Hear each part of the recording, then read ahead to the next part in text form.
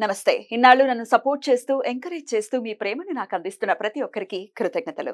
అలాగే ఈ వీడియో కూడా ఖచ్చితంగా మీకు ఉపయోగపడుతుంది. లైక్ షేర్ అండ్ సబ్స్క్రైబ్ చేసి మీ సపోర్ట్ని నాకు అందించండి. అలాగే ఈ వీడియో పట్ల మీకున్న అభిప్రాయాన్ని కమెంట్ సెక్షన్లో కమెంట్ చేసి తెలియజేయండి ఇప్పుడు వీడియోని చూద్దాం. నమస్తే. Welcome to our channel. నేను పద్మిని. ప్రస్తుతంతో పాటు ప్రముఖ ఆధ్యాత్మికవేత్త వాస్తు జ్యోతిష పండితులు శేషగిరిరావు గారు ఉన్నారు. మాట్లాడదాం. నమస్కారం అండి. బాగున్నారా? మే ఒకటో తారీఖు గురువు మారబోతున్నారు సహజ లాభస్థానంలోకి వెళ్ళబోతున్నారు వృషభ రాశిలోకి. సో మరి గురువు ఇచ్చేటటువంటి ఈ సంవత్సర కాలం పాటు కూడా ఎట్లాంటి ఫలితాలను ఇవ్వబోతున్నారు ద్వాదశ రాశుల వాళ్ళకి? అలాగే నర్మదా పుష్కరాలు కూడా మొదలు కాబోతున్నాయి. ఆయన మారినప్పుడు ఖచ్చితంగా పుష్కరం అనేది. వస్తుంది. ఇది అందరికీ తెలిసినటువంటి విషయమే. సరే ఇక ఈ గురువు ఇచ్చేటటువంటి ఫలితాన్ని ఒక్కసారి మీ ద్వారా. రైట్ తప్పకుండా గురుడు ఎక్కువ శాతం మందికి మంచిగా చేస్తాడని ఆశిద్దాము సరే ఒకవేళ ఎవరికైనా నెగిటివ్ ఉంటే ఆ నెగిటివ్ ఏంటి? ఏ కోణాలు? అంటే ప్రతి ఒక్క గ్రహం కూడా సేమ్ ఒకటే చెడు చేస్తుందని కాదు. సో ఆయా రాశులు బట్టి ఒక్కొక్క వచ్చే చెడు వేరు ఉండొచ్చు మంచి కూడా వేరు ఉండొచ్చు సో అలా మనం ఉదాహరణగా చెప్పుకుంటే కనుక కన్యా రాశి కొన్ని విషయాల్లో చెడు ఉన్నా కానీ. ఈ గురుడు మారే విషయంలోకి వచ్చేప్పటికి ఏంటంటే అప్పటిదాకా పెళ్ళి కాని వాళ్ళకి పెళ్ళి అయ్యే అవకాశాలు ఉన్నాయి మంచి కూడా ఉందిగా మంచి కూడా ఉంది కదా. సో అది ఒక ఉదాహరణ మాత్రమే. ఇలా తర్వాత తర్వాత ఏ రాజుకి ఏంటనేది మనం వివరంగా. మాట్లాడుకున్నాం కానీ. ఇక్కడ వచ్చేప్పటికి ఏంటంటే గురుడు మారటం అనేది ఏంటంటే కొద్దిగా మనకి ఏ విషయాల్లో కొంత ఇబ్బంది అంటే ఆయన ఉన్నది సంచారం చేసేదంతా కూడా శత్రువు రాశిలో సంచారం చేయటం అనేది ఉంది శుక్రుడు ఆయనకి శత్రువుగా పరిగణించవచ్చా అంతేగా. ఈయనేమో దేవతల గురువు ఆయనేమో రాక్షసుల గురువు. సో అందుకని వైరం ఉంటుందా? ఆ వైరం ఎలాగో ఉంటది మరి. సో అది. సో అందుకని ఆ రకంగా ఆయనకి కొద్దిగా అసౌకర్యమైన స్థానం అది.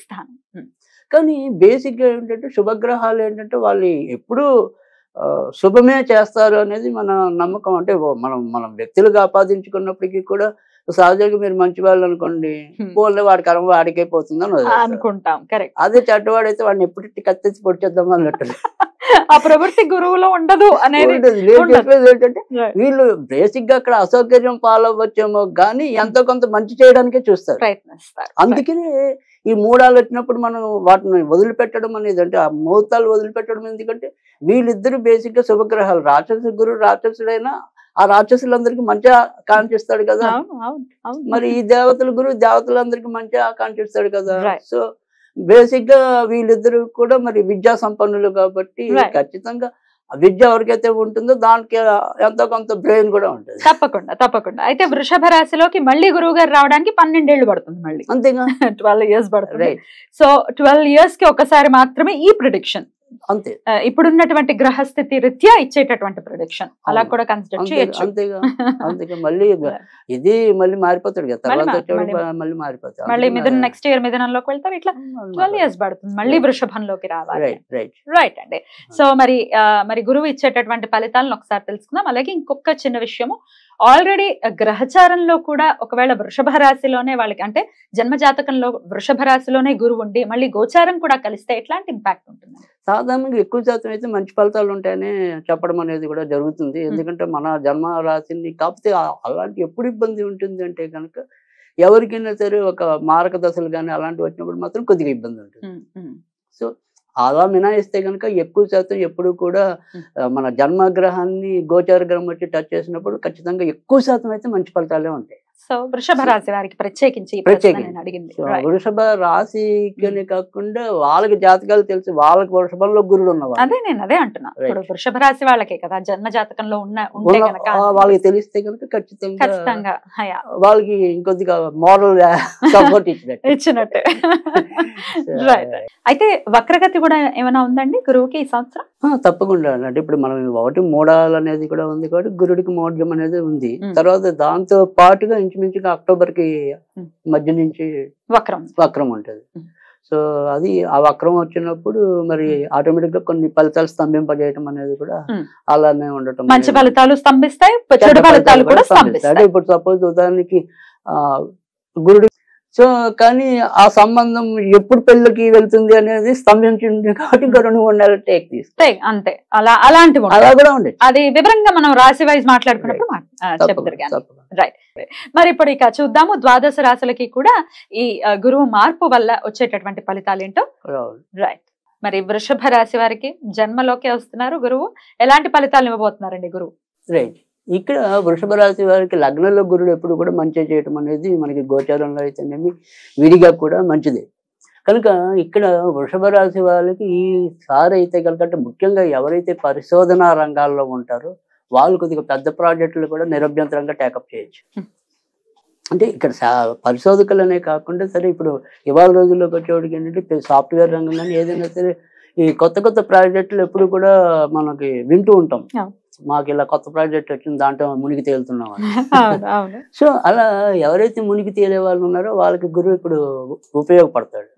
ఎందుకంటే లగ్నంలోనే గురుడు ఉంటాడు కాబట్టి లగ్నం అనేది ఎప్పుడు కూడా మన యొక్క.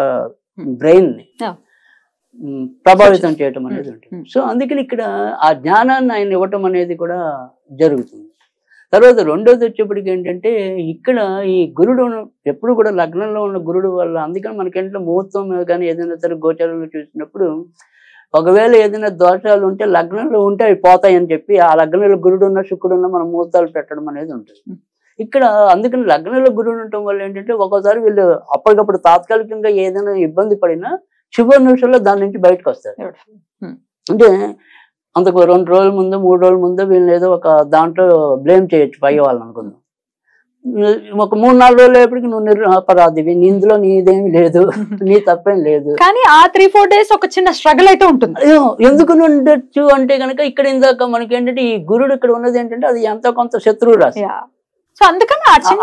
చిన్న స్ట్రగుల్ ఇవ్వకుండా ఉండదు. Hmm. తర్వాత రెండోది ఏంటంటే అసలు బేసిక్గా ఎప్పుడైనా సరే మీరు కనుక గమనిస్తే వృషభ రాశి వాళ్ళు కానీ తర్వాత మకర రాశి కానీ తర్వాత వచ్చేవాడికి కుంభరాశి కానీ ఈ మూడు రాశులు వృషభము మకరము కుంభం ఈ మూడు రాశుల వాళ్ళు కూడా అసలు మామూలు జనరల్గా దైనందిక వ్యవహారాల్లో కూడా ఎంతో కొంత ముందు ఒక చిన్న డిస్టర్బెన్స్ లేకుండా లేదా చిన్న ఒడిదుడుకు లేకుండా వాళ్ళు ముందుకు Mm. బట్ పట్టుదల ఎక్కువ. ఖచ్చితంగా గెలుస్తారు. ఇక్కడ గెలిచేందుకు ఈయన సహకరిస్తాడు. అంటే ఒక్కోసారి మనం మొండి పట్టుదలకు పోతే మూర్ఖత్వం అవుతుంది. ఇక్కడ గెలుపు అవుతుంది ఈ గురుడు యొక్క గోచారం వల్ల. కనుక వృషభ రాశి వాళ్ళకి మంచి జరుగుతుంది. కానీ ఏ విషయంలో జాగ్రత్త తీసుకోవాలి? వీళ్ళు ఈ ఏడాది తీసుకోవాల్సిన ముఖ్యమైన విషయాల్లో జాగ్రత్త ఏంటంటే కనుక ఆడవాళ్ళు ఆడబంధువులు మగవాళ్ళు అయితే ఆడవాళ్ళతో ఆడవాళ్ళు అయితే మగవాళ్ళతో. అంటే వాళ్ళు పనిచేసే చోట కొలీగ్స్ ఎవరైతే ఉంటారో వాళ్ళ విషయంలో వీళ్ళు కొంతవరకు అప్రమత్తంగా ఉండాలి. ఎందుకంటే గురుడు ఇందాక మనం చెప్పుకున్నాం ఆయన కొద్దిగా శత్రువుల రాశిలో ఉన్నాడు కాబట్టి తాత్కాలికంగా ఏవో ఒక శత్రుత్వాలను మనకి ఇవ్వటం అనేది ఉంటుంది. తర్వాత రెండోది వచ్చేప్పటికి ఏంటంటే ఇది దీనికి వచ్చేప్పటికి అంటే మనకి ఏడాది ఏడాది ఇక్కడే ఉంటాడు అనుకోండి గురుడు. కానీ సుమారుగా మనకు వచ్చేప్పటికి ఏంటంటే ఈ జూన్ మధ్య నుంచి ఇక్కడికి కుజుడు చేస్తాడు. ఇక్కడ అదే జూన్ జూలైలో ఇక్కడ చేస్తాడు. జూన్లో ఇక్కడ చేస్తాడు. కుజుడు. సో ఇక్కడ కుజుడు ఎప్పుడైతే శుక్రుడు రాశిలో ప్రవేశించాడో గురుడు ఆల్రెడీ మనకి ఇందాకే చెప్పాను అంత కొంత. శత్రు. అక్కడ వ్యక్తిగత నేరాలు పెరుగుతాయి. Oh. అంటే వ్యసనాలు ఉన్న వాళ్ళు ఆ వ్యసనాలు వల్ల నష్టం చెందటం అనేది. సో ఏదైనా సరే ఒక ఇప్పుడు అదే టైంలో అంటే మనం ఇండిపెండెంట్ జాతకం కాకుండా సామాజిక జాతకం తీసుకుంటే కనుక ఎవరైనా సరే పెద్ద పెద్ద నేర సంఘటనలు బయటకు వచ్చి వెలుగు చూస్తే మనం కథనాలు చూస్తూ ఉంటాం కదా. పలానా వాళ్ళు ఇలా చేశారు పలానా వాళ్ళు ఇలా చేశారు. అలాంటివి ఇంచుమించుగా మీకు జూన్ జూలై మధ్య బయటపడడానికి అవకాశం ఉంది. సో అందుకని జూన్ జూలైలోకి వచ్చేప్పటికి ఏంటంటే ఇక్కడ మనం వ్యక్తిగతంగానే కాకుండా సామాజికంగా కూడా ఎంతో కొంత జాగ్రత్త పడాలి. సో అందుకని ఇక్కడ జూన్ జూలై మాత్రం గురుడులో ఇక్కడ మే ఏదైతే కుజుడు సంచారం ఉంటుందో అది అంత కరెక్ట్ కాదు. Right.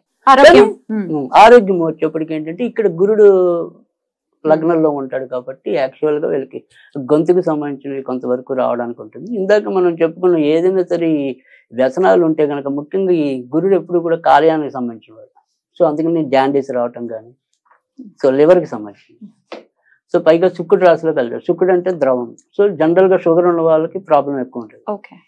సో షుగర్ ఉండి మందు కొడితే ఇంకా ప్రాబ్లం ఉంటుంది అమ్మ బాబాయ్. సో అందుకని అక్కడ అందుకే ఇందాక చెప్పింది ఫస్ట్ నేను అంటే ఇప్పుడు డైరెక్ట్గా మనం అంటలేదు కానీ వ్యసనాలు అనేది అందుకే. సో ఎవరి వ్యసనాలు వాళ్ళు గుర్తించుకుంటే మహానుభావులు. అంతే కదా. రైట్ ఎట్లాంటి పరిహారాలు చేసుకోవాలండి సంవత్సర కాలం రైట్ వీళ్ళైతే తప్పకుండా అంటే ఇప్పుడు మనము ఒకవేళ వీళ్ళకి దశ మహావిద్యలు అనేది గనక తెలిసి పరిచయం ఉంటే గనక బగలాముఖి చేసుకుంటే గనక చాలా అద్భుతంగా వీళ్ళకి Mm. ఆ, ఉపయోగపడుతుంది బగలాముఖిని సేవించడం వల్ల. ఒకవేళ అది ఒకవేళ- చెప్తాను ఇన్ కేసు వాళ్ళు బగలాముఖిని సేవించలేకపోతే గనక తప్పకుండా అర్ధనారీశ్వరుని పూజించాలి. సో ఇక్కడ అర్ధనారీశ్వర స్తోత్రం అనేది నిత్యం చదువుకోవటం వల్ల కూడా ఈ ఆడవాళ్ళు ఆడబంధువులు కానీ మగాళ్ళు మగ బంధువులు కానీ ఏదైనప్పటికీ కూడా ఇందాక మనం చెప్పుకున్న ఇబ్బందులు తగ్గుతాయి. తర్వాత రెండోది వచ్చేప్పటికి ఏంటంటే ఇంట్లో కూడా ఇలా వేరే వాళ్ళ మూలకంగా ఎంతో కొంత కొద్దిగా ఇబ్బందులు వస్తూ ఉంటాయి. అంటే స్వతహాగా భార్యాభర్తలు బాగుంటారు. కానీ థర్డ్ వ్యక్తి ప్రమేయం వల్ల ఒకసారి చికాకులు రావచ్చు. వాటి నుంచి కూడా బయటపడచ్చు. ఖచ్చితంగా. ఎప్పుడు కూడా అర్ధనారీశ్వరుడిని పూజించడం వల్ల సంసారిక జీవితం బాగుంటుంది. సంసారిక జీవితం ప్రశాంతంగా వెళ్తే బయట జీవితం బాగుంటుంది. కరెక్ట్ ఇంట గెలిచి రచ్చగలవాలి.